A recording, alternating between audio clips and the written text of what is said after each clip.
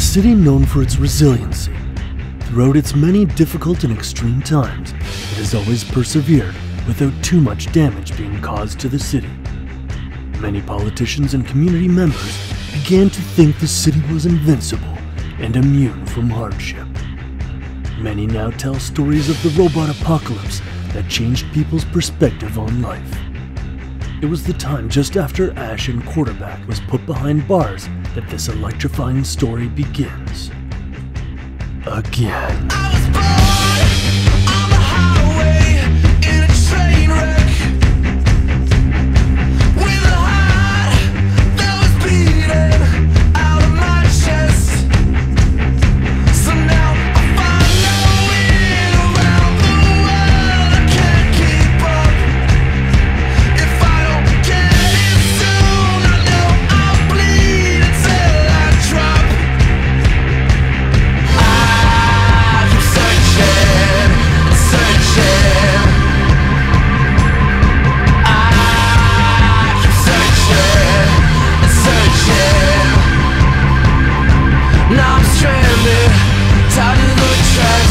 There's no hero, there's no villain.